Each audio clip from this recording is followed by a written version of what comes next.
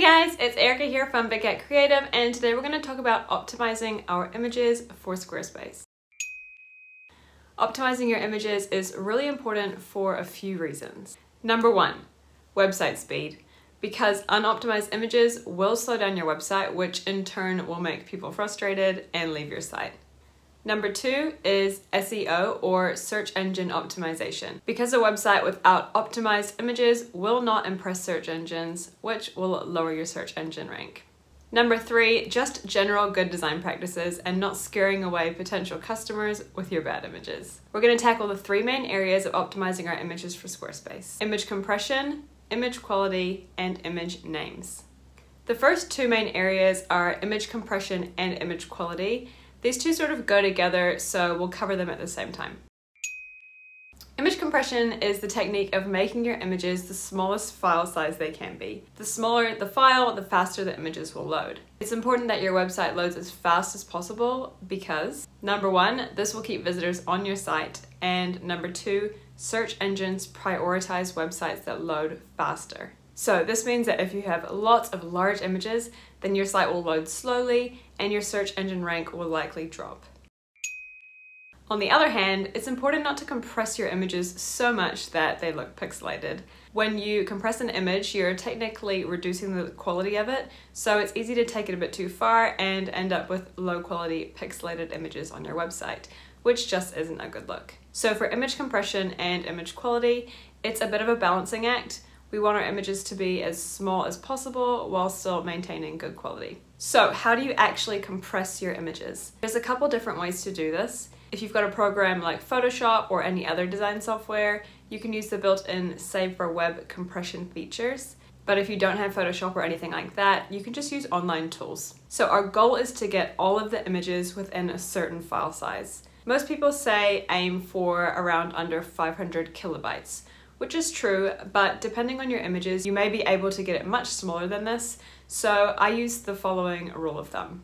So I've just opened up this website so I can tell you about the sizes and what sizes relate to which sort of images. So the first rule of thumb is that the large banner images should be between 2000 and 2500 pixels wide.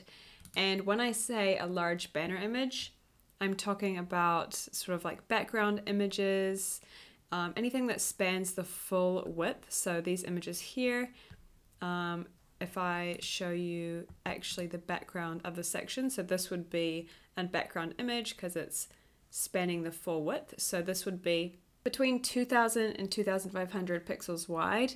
And for these big images, we aim for 500 kilobytes or less. The next sort of tier I have is the medium website images. So that would be things like this, they're relatively large on the page and they are a part of the design, so you want them to be good quality. But obviously they aren't as big as the full size, full width banner images. So these I call medium website images and they should be between 500 and 1500 pixels wide depending on how big they are on the page. I would say sort of this size I would make 1500 wide, this size I would make 1500 wide. Maybe for these smaller ones they could be between 500 or 1000 pixels wide. It just depends how big they're going to be on your page. And for these images I aim for between 100 and 400 kilobytes. And the next tier, we're going to go even smaller with things like screenshots for educational blog posts. And these basically don't have to be super high quality to still be valuable. So I try and compress these as much as I possibly can. You can see that they're not super, super high quality, but I actually don't care as long as the reader can understand the information in there and the point I'm trying to get across. I'm not too worried about my blog post screenshots and images like that to be super high quality. So I usually make these around 500 pixels wide and I aim for between 10 and 300 kilobytes. So that is the three tiers that I go by when I'm optimizing my images. So I'll just recap. The large banner images, you want 2000 to 2500 pixels wide. Aim for 500 kilobytes or less. For medium website images, it depends how big they are on the page but probably between 500 and 1500 pixels wide. and always aiming for between 100 to 400 kilobytes. And then for your smaller images like screenshots for blog posts, you can make these around 500 pixels wide and aim for anywhere between 10 to 300 kilobytes depending on the image. So I'm going to dive into the image size and compression instructions for Photoshop first. But if you don't use Photoshop, just use the timestamp down the bottom and skip to the instructions for people who don't have Photoshop or any design software. Okay, so if you're in Photoshop, this is really easy. I'm just going to go ahead and open up my image that I just downloaded from unsplash.com. And the first thing I'm going to do is I'm going to just crop it to the size that I want. So I want this image to be a banner image.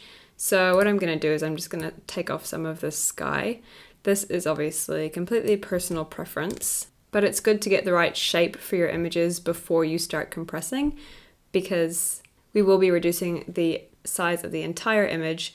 So it's good to have it cropped before we compress it. So I'm happy with this image now. The first thing I need to do is check to see what size it is. So I'm going to click on image, image size, and you can see that it is 2672 pixels wide and pretty high as well.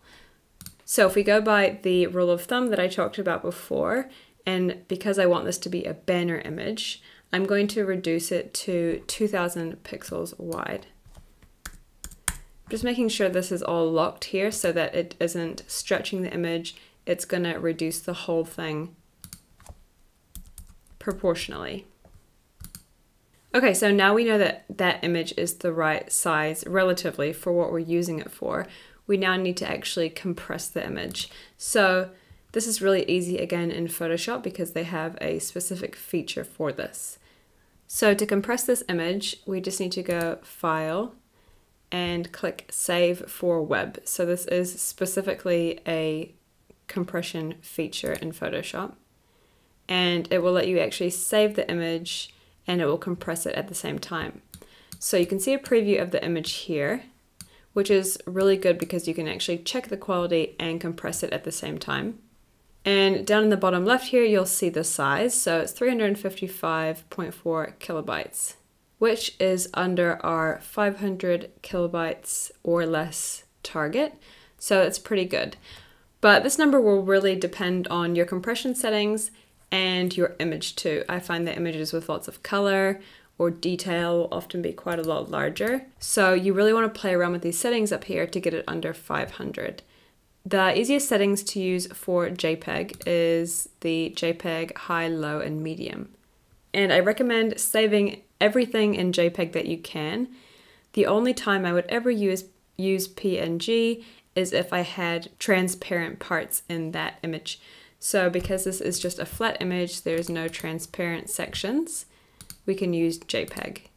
I say that because PNG doesn't have the ability to compress as far as JPEG, so I really only like to use it when I have to, and that's when I'm using images with transparent parts in them. So I think this is pretty good for this image, but just have a play around with the JPEG high, medium, and low. You'll see the size change down the bottom. And remember, it's all about just getting it basically as low as possible without losing too much quality. So I think a medium is a good middle ground for this one. You can also change the size of your image here as well. I like to change it before, but you can do it all here as well. So have a play around with that. Make sure to try and get your image under 500. If you're doing a medium image, I recommend under 400, ideally closer to 300. And again, if you're doing those screenshots or really small images for blog posts, then just as small as you can. Then you just need to click save. And I'm just gonna call this something else for now. We're gonna come back to file names in a minute, but you can save it. So now you'll see in your folder, you have the new compressed version and the old version. And you can see here in the size that it's 365 kilobytes compared to 1.8 megabytes, which it was before. Okay, now let's compress our image without Photoshop and just with the tools our computer has. So I'm obviously working on a Mac, which will be a little bit different than people working on Windows Um, but you should be able to do this, no worries. Uh, and we can pretty much just use internet tools that are available to everyone. So this is the image here that I want to compress. You can see that it's 1.8 megabytes, it's pretty big. And I'm on a Mac, I'm just going to double click and it will open in preview. So we can actually use our preview app for the first part of this. Hopefully Windows has something equivalent. If you don't have anything like this, you could put your image into a program like Canva and crop and resize it there. Just note that any changes that you make to this preview file will replace your existing file. So if you do want to make a backup, just copy and paste that file that you've got so you have the original. If you want to, you can make changes to the copy. So this is my image. The first thing I want to do, because I want to actually have this image as a banner image, I'm first going to crop it. Crop it to the size that I want on my website. So I recommend doing any sort of cropping or editing before you compress your images. Compressing your images should be the very last thing you do in the editing your images process. So first I'm going to crop it down. I'm, I want it to be a banner image, so we'll say I'm just going to cut out some of that blue sky, something like that. And then I'm just going to use that crop tool to crop it. Okay, so now that we have our image final, this is the exact size I want it, I'm going to go ahead and look to see what the size of it is. In preview, you can find that by clicking on Tools and Adjust Size. So we can instantly see that my image is 2672 pixels wide. And if we go back to that rule of thumb that I was talking about before, um, because I want this image to be a banner image, I'm going to change it to 2000 pixels. If you are working on your medium website images or screenshots or really small images, you can adjust this to whatever you want. Uh, I recommend just using that rule of thumb that I talked about below and that is below the video. So I'm going to change this to 2000 pixels and that's going to automatically adjust the height too so everything scales proportionately. Just make sure you have this ticked otherwise you're going to get some really funky stretching on your image. You can also see the resulting size of doing this. So it'll tell you that the original image was 1.8 meg and after reducing the size, it's already starting to get quite a bit smaller. Unfortunately, Preview doesn't really do anything to compress your images, so this won't really be small enough, especially if you're working with large and detailed images. So go ahead and click OK, and that's going to reduce the size of the image. So like I said, if you're on Windows and you don't have preview, you could just pop it into Canva and create your own dimensions from a Canva document. Then you just need to re-download the image and have it on your computer like this. So now we have our image in the perfect size that we want it. The final thing we need to do is actually compress it. So what I recommend doing is heading to compressjpeg.com. So you can also use compresspng.com, which will do your PNGs. It also has a bunch of other file types up here. Right now we're just using a JPEG. And I would always recommend using a JPEG unless your image has transparent parts. So on your website, generally you'd only use two file types, and that would be JPEG and PNG. And JPEG is preferred because you can compress it to be quite small without losing much quality. PNGs are harder to get smaller, so I only recommend using PNGs when you actually need to, which is when your image has transparent parts in it. Because our image is just a flat image, there's nothing transparent on there, then a JPEG is perfect. I also recommend a website called tinyjpeg.com. So it's really similar to compressedjpeg.com, but I do find that this one actually compresses your images more. So I often go for compressedjpeg.com first because I feel like it does compress the images a bit less, but sometimes the quality is a little bit better. But in some instances, it just doesn't compress them enough. So then I come over to Tiny JPEG. So really, depending on your images, whatever works best for you works best for you. They're both good. They both do the job. And you can do JPEG and PNG files on both of them, which is really important. So I'm going to upload my photo now. You'll want to save your image. Okay, so I'm just going to click and drag my cropped image into compressedjpeg.com and see what it comes out with. The process is generally really fast and it will tell you how much it has compressed it by, which is quite useful. Okay, so it says right there it's compressed it by 2%, which is pretty much nothing. I thought it would at least do more than that, um, and that's not going to be enough. So this is a good instance to go over to tinyjpeg.com and see what they do. I'm just going to upload the file here. And this one somehow has been able to reduce it by 57%. So that is definitely more preferable. I'm actually going to download them and just check the quality. So I'm actually going to download both of them, just have a quick look between the quality. But realistically, we're going to have to use the one from Tiny JPEG because 2% isn't enough to justify using the image. So we'll open this one up. And we'll open this one up, have a look, and they look pretty much the same. So Tiny JPEG definitely wins this round. And they have managed to reduce our image to 312 kilobytes down from the original 1.8 and then the 733 which was just our preview save so that is pretty impressive. And you'll see how much you can compress an image without really losing much quality. It looks pretty good. Awesome. So that is how you compress an image for Squarespace and without Photoshop or any fancy tools. Just remember to keep that rule of thumb that I talked about before with the sizes and the file sizes handy because it does make a big difference. The size of the image makes a big difference to how much you can compress it, and it also makes a big difference to how much quality it needs on your website, you know, depending on how big or how small the actual image is displaying on your site. So it is a bit of a balancing act and it does seem a little bit tedious, but it is incredibly important to reduce the size of your images. The last step in the image optimization process is naming our images, which thankfully is the easiest part.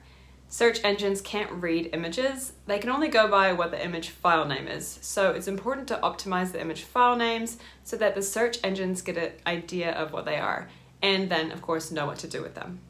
This next one's really easy, guys. It's simply just renaming your images. So, um, first, I recommend organizing your images. If you're going through all of them and compressing, keeping originals, making copies, etc., just make sure to have different folders for different images just to keep you a little bit sane because it can get really messy really fast. As you can just see from here, I've got three different images right here. But this is the one I'm going to use. This is the compressed image. So I'm going to just delete these because I don't need them. But you could just put them away in a different folder. And the one that you upload to your website, you should rename with relative keywords that um, relate back to your business and also describe what the image is. So this photo is going to be a little bit hard for me to name because it's just a random photo that I downloaded off the internet. But for example, if this was an image of me, I would call it something like Erica Hartwick um, Big Cat Creatives, that's my name, business name, and then Squarespace templates, which is our main offering. So basically just adding in keywords, it helps Google actually read the image and because Google can't look at an image and read it, it has to read the image through the file name. So if you give Google or any search engine some sort of indication of what that image is by renaming the image, that's going to help with your search engine ranking. So alongside compressing all of your images, you should also rename all of your images before you upload them to your website because doing these two things will make a huge difference to your search engine ranking. So that's it. I hope you all are confident now in changing your image size, compressing your images, and then renaming them. I'll see you all in the next video.